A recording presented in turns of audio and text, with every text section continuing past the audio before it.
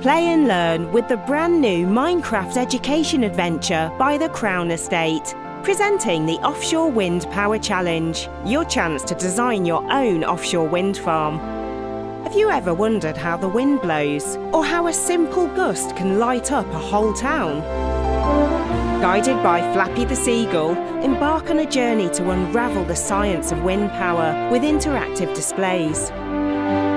In the Design Centre, a puzzle awaits. Collect green coins to buy turbines and place them on the ocean grid. Can you power a local town? You must balance costs, placement, power, and environmental and social impacts to light up our world. Deploy your wind farm, chat with the local people and marine life, and visit the turbines at sea. As you sail through this windy wonderland, remember every gust is a chance, every turbine a triumph. Satisfy your curiosity and light the path for a greener tomorrow. Learn, play, and make a difference. Available to download now.